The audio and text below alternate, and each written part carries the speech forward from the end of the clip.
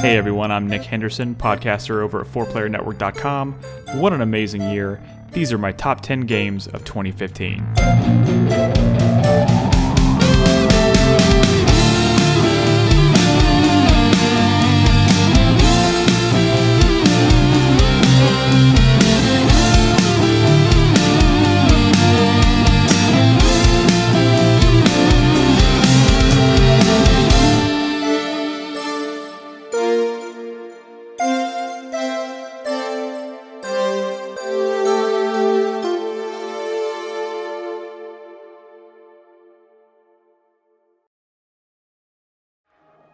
Okay, coming in at number 10 is a game that I wrestled with for months before caving and adding it to my top 10 list. It's honestly one of the hardest decisions I had to make because it's just been that kind of year. Trying to decide which games didn't quite make the cut was so much more difficult than deciding which games would rank higher in my list.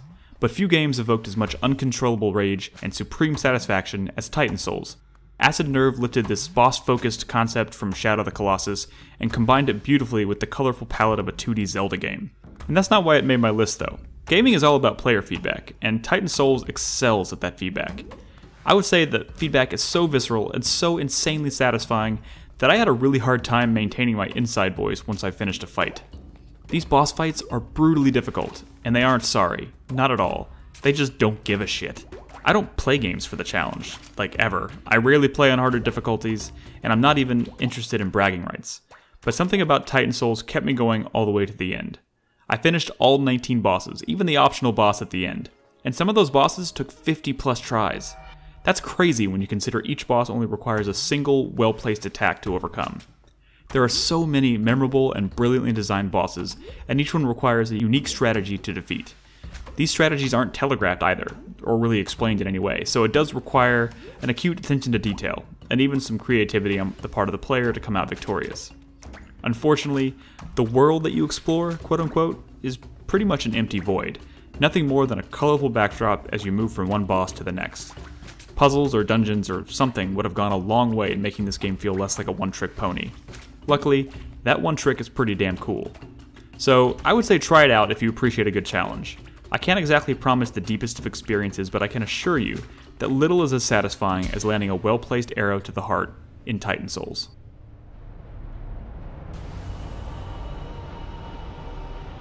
Okay, I'll be honest, I've barely scratched the surface of Fallout 4. In fact, I've only sunk about 12 hours into it collectively, but I look forward to spending way more time with the game now that 2015 is finally over. What I can say for sure is that I have a soft spot for the series. I have ever since Fallout 3 released. I'm not sure if it's the music or the art direction or the character progression, but I certainly wasn't going to let something like my limited amount of time with the game keep it from my list. Fallout is a game that needs no introductions or explanations. Unless you've been living under a rock, you know why Fallout 4 is so great. It's a game so massive and so addicting that it's easy to forgive its many technical issues. What it lacks in technical polish, though, it makes up for in depth, density, variety. I wasn't immediately sold on the Boston setting, but even in the short amount of time that I've spent with the game, it completely changed my tune. Boston is every bit as beautiful and fun to explore as the Capital Wasteland or New Vegas. You can't walk 10 feet without stumbling across some new location, whether it's a, a high school or a stadium or, you know, I don't know, a hole in the ground that just leads you to a massive cave. Who the fuck knows?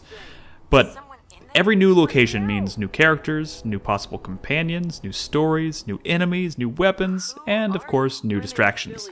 Talk about a game that makes it hard to focus. Jesus Christ. What I wasn't expecting, though, was to find out how much more aggressive enemies in this game have become. Ghouls. Ghouls, who used to be like a joke, are terrifying in this game. They're fast, they're aggressive, and they'll kill you really quick. Of course, the beloved VATS system makes a welcome return, but time no longer stops completely when you activate it. Instead, it kind of slows to a crawl. It's a simple change with dramatic effects on the pacing of combat. More so than previous games, I feel like the combat has a sense of urgency now, and I think that it's a better game for it. Honestly, there's a good chance that Fallout 4 could have ranked higher in my list had I had more time to explore it fully.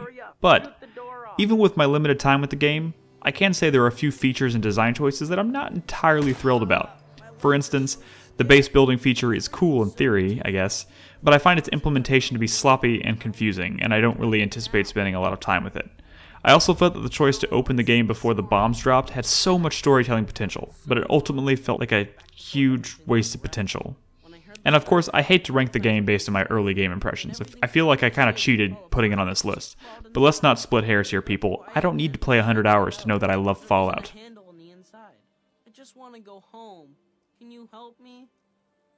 Some might claim that putting Mad Max in this list is pandering to my love of Mad Max Fury Road. And you know what? They might be partially right. That was an awesome fucking movie. But I've had my eye on Mad Max for several years now, and while it may not win any awards for originality, it does manage to do a lot of different things surprisingly well. The world, despite being a barren wasteland, does manage to deliver a wealth of things to see, collect, and of course, kill. And it does so against a pretty unusual backdrop. And no, I'm not saying that post apocalyptic games are rare, but few are as beautiful as Mad Max. And despite being largely empty, an intentional decision, I assure you, there is an impressive amount to see and do. Also, Avalanche has created another beautifully constructed clone of the Batman Arkham combat. Again, not super original, but you can't deny the appeal of the combat system that was born from that game. Combat is so visceral, thanks to the ease in which you can be overwhelmed. I loved how I frequently felt like I was taking as much of a beating as I was handing out.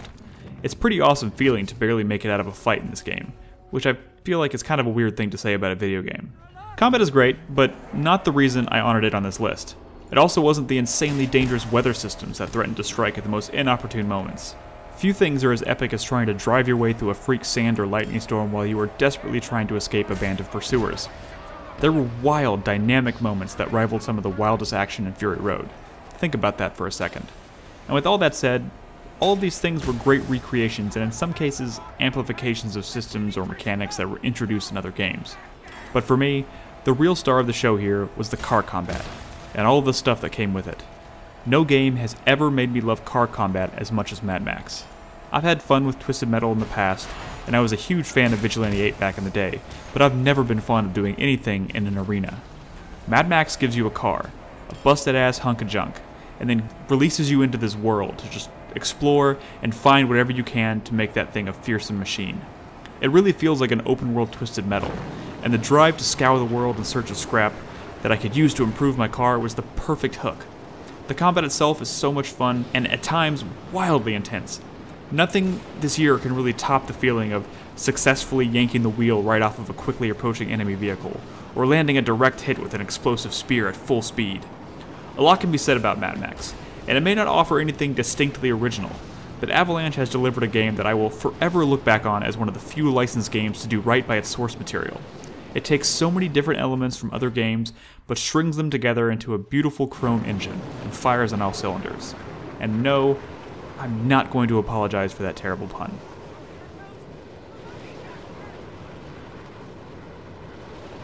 Every detail in Batman Arkham Knight is just dripping with reverence for its source material, and I'd argue that very few portrayals in film or television have managed to capture the magic quite as effectively. Rocksteady has, across multiple games, managed to incorporate so many classic Batman characters, references, and plots into a single portrayal of the universe that it's a miracle the game didn't fall apart at the seams a long time ago. In Arkham Knight, Rocksteady not only delivered what I consider to be one of the best conclusions imaginable, but also the best Arkham game in the series to date, no question. As the series has progressed, the portrayal of Gotham City has grown and grown, from the confines of Arkham Asylum up to the fully realized streets of Gotham City. And holy shit, the world in Arkham Knight is mind blowing. It's densely packed with secrets, villains, and references. It's a Batman fan's wet dream. And the team didn't shy away from even the most obscure references either, and instead jumped at the opportunity to introduce lesser known characters to a more mainstream audience. This is one of the few games out there that takes full advantage of what it means to tell a story in an open world. You never quite know what to expect or when to expect it, but there are so many moments that took my breath away that just unfolded naturally within the world. I won't waste any time praising the flawless Arkham combat system. What would be the point? They wrote the book on it, and it's still amazing. What I will gush over, however, is the implementation of the Batmobile. The Batmobile here is fully realized and immediately accessible at any time during open world exploration, in much the same way that you would call your horse in Zelda or The Witcher. It's a vehicle that empowers the player, but demands respect and mastery to use effectively. At the beginning, I felt completely overwhelmed by the speed and maneuverability of the car, but as the game progressed, so did my ability. By the end, I felt like a master. To make it even better, Rocksteady packed the car full of gadgets and abilities to use during combat and even puzzle solving. Its ability to turn into a tank on the fly was certainly divisive, but I absolutely loved it because of its simplicity. Perhaps the tank battles were a bit overused towards the end of the game, but I still consider it a welcome feature. All of it came together to make one of the most versatile and satisfying vehicles that I've ever used in a game before. Lastly, the choice to spin a classic Batman arc into a conclusion here was certainly a divisive one as well. Some of the plot points and twists were telegraphed maybe a little too well, but the story itself was a good one. The acting is superb, and several classic villains make a welcome return, and easily steal the show. And you know, it shouldn't surprise anyone to know that Mark Hamill's Joker plays a role in this game, but that role was easily one of the best kept secrets of the year. Mark Hamill knocks it out of the park in the most incredible way, but that's all I'm going to say about it. It's a fantastic game, a fantastic conclusion to a beloved series, and easily one of my most memorable experiences of 2015. I'm kidding. Looks like I got my story. This is it, Batman. This could get me back. Klei Entertainment made Mark of the Ninja. Remember how awesome that game was? It was a 2D stealth action game that could easily go toe to toe with some of the best games in the entire stealth genre.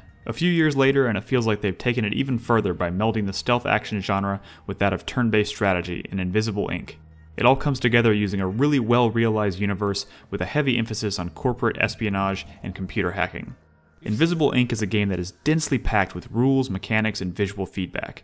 So much so that I can imagine a lot of people may have passed on the experience for fear of mechanical overload. If Mark of the Ninja taught me anything, though, it's that Klei has made the art of visual explanation their bitch. Their knack for streamlining complex mechanics into sleek, beautiful presentations is so impressive. Everything from how you move your agents along the grid to how they communicate space and your position to guards is downright beautiful. Between missions, your overall success often depends on simple choices like do I travel 12 hours to complete a mission in Europe and acquire a really important resource, or do I travel 6 hours to Chicago for a lesser reward? When the clock on the entire game starts with just 72 hours, it's pretty scary to imagine sacrificing 12 of those just traveling, but the rewards can range from a boost in funds to new potential targets to enhancements for your AI partner, Incognita. It's a careful balancing act, but one that is a lot of fun once you understand the flow. I also love the light RPG elements that allow you to customize the growth of your agents. Depending on how you upgrade each agent, you may be able to move farther on each turn, knock out guards more frequently thanks to faster cooldowns, hack tougher security panels, you name it. The same mechanics also extend to Incognita herself, since you can use her to disable security cameras and trip lasers, manipulate security robots, and ultimately open up new paths and optional spoils. Of course, adapting to bad situations is the name of the game here, since security measures gradually increase the longer you take to complete your mission. The missions that involved me desperately dragging my unconscious partner to the exit while eluding waves of alerted security were among the most exhilarating moments of the year for me. Even though the game can look intimidating to an outsider, it is one that I promise will surprise you. It's not nearly as overwhelming as it looks, and the rewards for taking the plunge are well worth the investment.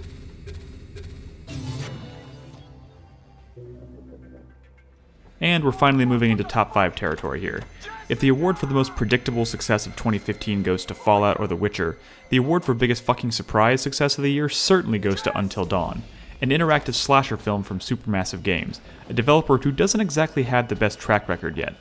Drawing influence from games like Heavy Rain and the flagship Telltale series of The Walking Dead, Until Dawn tells a story full of twists and turns that is pumped full of player choice and consequences. Surprisingly, it starts strong and maintains this momentum all the way to the end, and delivers a pretty damn satisfying conclusion. I'd even consider it one of the best slasher horror films in years, as most of its revelations land and the characters are memorable and well acted. They may not all be likable, but how often are they in a horror movie? Its gameplay can be boiled down to pretty simple segments of environment exploration, dialogue choices, and decision making that can affect relationships or even land you in some real precarious situations, like shit up to your eyeballs kinds of situations. On the surface, it may appear to be another game riding the coattails of another game's success, but there is actually a lot of originality here, and what I found is that the game handles these elements better than many of its predecessors. The game does do some pretty unexpected things as well. For instance, there are hidden totems scattered throughout the world that give you a brief glimpse of the future when you touch them. I'm talking like 2 to 3 seconds of disorienting visions with absolutely no context. It's a pretty awesome feeling down the road when these visions start to make sense, and the impact they can have on your story can actually be pretty significant. Even then, survival really depends on your reflexes and ability to not dwell on making tough decisions. Your journal keeps track of all the mysteries and outlines the impact of your choices, which also creates a nice layer of Scooby Doo esque mystery to the game. Also, bravo to the writers for remaining committed to the concept from start to finish. The characters are well acted, pitiful excuses for human beings, and they demonstrate bad judgment all the time. Jump scares are frequent and often completely non threatening, which on more than one occasion made me scream like a little bitch. However, this is very much the point, as Until Dawn is an unapologetic love letter to classic slasher movies. With that said, the predictability actually ends there, as much of the game's plot is full of welcome twists that coalesce in a pretty satisfying way at the end. Fans of corny slasher films will revel in the style of Until Dawn, while others will tragically miss the point entirely. It's a game that doesn't shy away from its influences, and for good reason. It may not be as deep or as long as other games in this list, but it evoked a feeling that I haven't really felt while playing a game before, and I'm eager to see what kind of legacy it leaves in the genre. The one thing I know is that it was an impressive first effort, and it just barely nudged its way onto my top 5 games of 2015.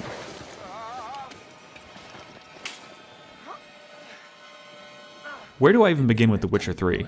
It's another game that I'm still working my way through, but given its massive scope and the sheer amount of content, that shouldn't really surprise anyone. The Witcher 3 ended up on this list though for a very simple and obvious reason. This game redefined what it meant to be an open world RPG in 2015. The game's world is massive, beautiful, and most importantly, fluid in its ability to tell a story. I can't think of another game that is as open and seamless but able to communicate such an epic, cinematic, and rich story. The previous two games in the series did manage to introduce the masses to the rich lore of the Witcher universe, but stopped just short of offering an experience that is as deep or rewarding as The Witcher 3. It's a world that feels lived in from top to bottom, making it an absolute joy to explore. There are so many hidden characters and quests to discover that all have their own potential to spiral into a satisfying side story of their own. It feels like these optional quests are usually, if not always, crafted with just as much care from the team as the main plot, which makes The Witcher 3 feel like one of the most evenly crafted RPGs I've ever played. The fast paced combat and signs system from The Witcher 2 makes a welcome return with some obvious improvements, but unfortunately, a satisfying experience system didn't quite make the cut. By far, the most frustrating thing about this game was the inability to grind and gain significant character growth through combat. The only significant source of experience is completing quests. It's a bummer for a game that flies so close to the sun. With that said, the greatest thing about this game is its actual emphasis on being a witcher, a hunter of monsters. Whether you stumble across a nest of wyverns on a cliffside while exploring a mountaintop, or you're given a job by a villager to investigate and eliminate a troubling beast, this is the first time I've felt like a skilled hunter, or truly understood what it actually meant to be a witcher in this world. I love how observing certain monsters will automatically update your bestiary, which you can then reference for vital clues or tactics to use in combat. It's such an amazing way to flesh out the lore, and another way that makes The Witcher feel really authentic. Of course, the main plot is also full of so many wonderfully realized characters. We finally get our first real look at Ciri and Yennefer and what their relationship with Geralt actually means, something we've only heard about in passing in previous games. It's the first time the motivations of Geralt have felt perfectly clear, and the overarching story benefits from that clarity greatly. The Witcher 3 is an incredible game. I'll never forget my epic battle with the cockatrice against the backdrop of the setting sun, or my quest to rid the Bloody Baron of a truly unfortunate haunting, or any number of other equally amazing quests that litter the world of The Witcher 3. It's a game that absolutely must be played by any fan of the genre. It took three tries to achieve true greatness for the series, but it was well worth the wait, and it should have you quivering in anticipation of their next project, Cyberpunk 2077.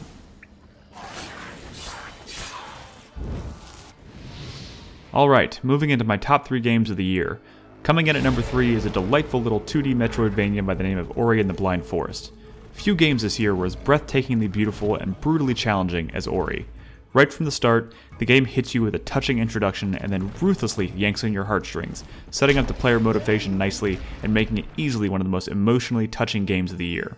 From that moment on, Ori and the Blind Forest is a super demanding but deeply satisfying Metroidvania. The sense of progression from start to finish is gradual but brilliantly paced and gave me flashbacks to something like Shadow Complex or Guacamelee.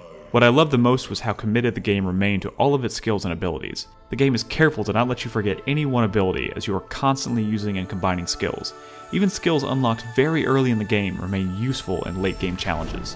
One of my favorite abilities allows you to basically propel yourself in any direction you want by catapulting off of projectiles and even airborne enemies. It's awesome how they managed to make it integral to both platforming and puzzle solving, and it's easily a highlight of the experience. But the true beauty of Ori and the Blind Forest lies in the mastery of its level design. The game's world becomes increasingly complex and is constantly upping the ante as Ori becomes more and more powerful. The game's hub location leads to many different areas that one might compare to dungeons from Zelda. And like any good Zelda game, each one has their own twist on the, on the gameplay. and some of these twists are too good to spoil. All I'll say is that each one tops the one that came before it, and many of these dungeons conclude with an exhilarating and insanely challenging escape sequence. The kind of escape sequence that involves super demanding platforming, timing, and patience. I love these sequences, despite the fact that they often left me a broken mess. When you get right down to it though, Ori and the Blind Forest is another game born from the recent resurgence in the popularity of Metroidvanias. It's easily one of the best that I've ever played, and my dedication to pushing through this challenging game should be a testament to its brilliance. It's drop dead gorgeous, relentlessly challenging, and meticulously crafted, landing it near the top of my list in 2015.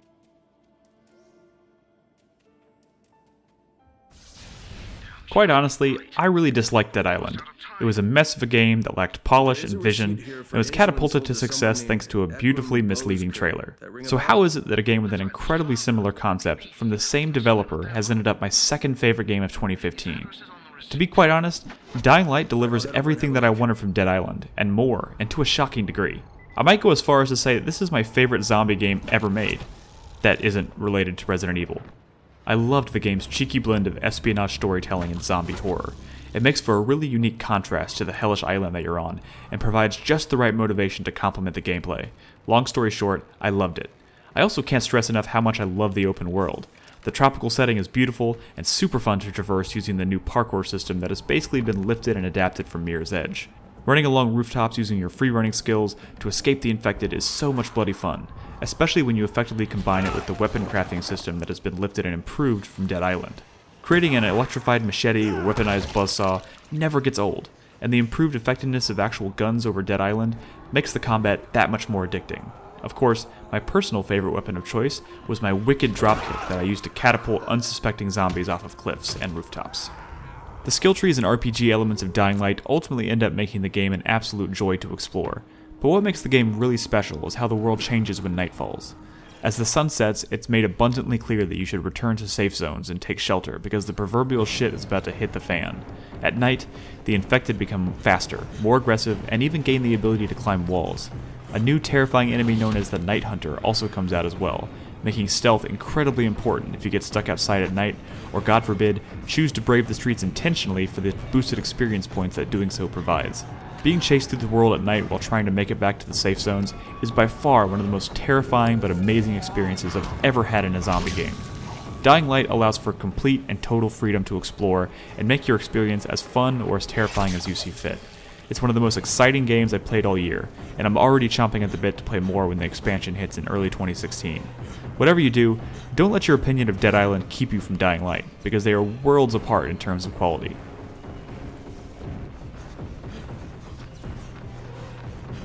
Here I am, a Souls newbie for all intents and purposes, but I can't deny that Bloodborne was my indisputable game of the year for 2015. From Software's new IP hit the ground running and set itself apart from the famed Souls franchise while simultaneously capitalizing on what makes that series so special to so many people.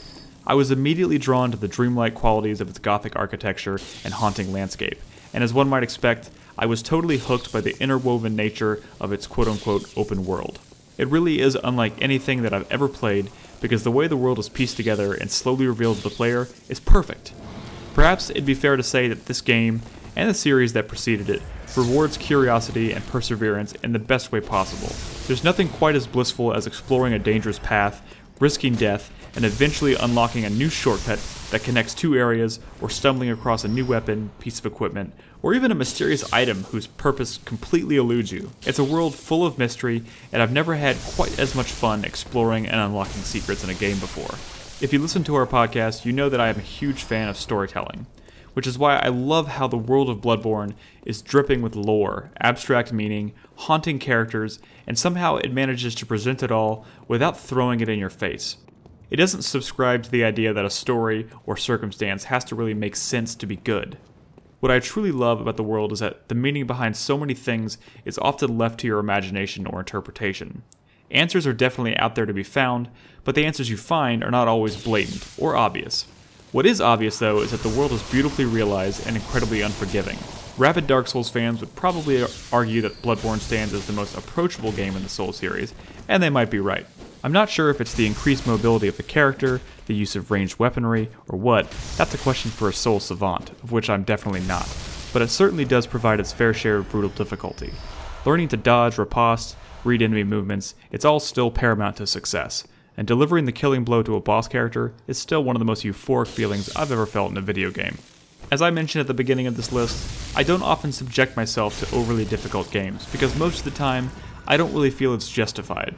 Not only does Bloodborne represent my introduction to the Soul series, though, but I think it effectively justified its difficulty by having an incredibly balanced combat system, a wonderfully rewarding world to explore, and let's not forget that the creatures themselves are insanely beautiful, disturbing, and sometimes haunting, but beautiful nonetheless. I was constantly pushing forward because I could not wait to see what lied ahead, and a lot of the time, all that stood between me and the unknown was an incredibly aggressive beast that wanted nothing more than to rip me to shreds. Some of these fights took a long time to complete, but I did complete them. It's a game that I absolutely expected to get the best of me, but was pleasantly surprised to find myself shrugging off the frustration and charging forward with a smile on my face every single time. There are so many memorable moments and locations that I'll never forget. The first time that I entered the Forbidden Woods, or Cainhurst Castle, among others, will be forever burned into my memory. But perhaps more than anything, Bloodborne converted me to a dedicated Souls fan. I'm eager to see what comes to the future of the franchise, as I'm sure it will definitely be a franchise. And it ensured that 2016, for me, will be the year of Dark Souls, as I'm currently playing through the original and plan to plow through 2 and 3 in the year ahead. Like many others, the creativity and ingenuity of From Software in Bloodborne captured my imagination and the imagination of the community in a way that is truly special. All I know is that I can't wait for the next game from these guys so we can hunker down around the water cooler, or in my case, the microphones, to talk about this feeling again because it truly comes around once in a blood red moon.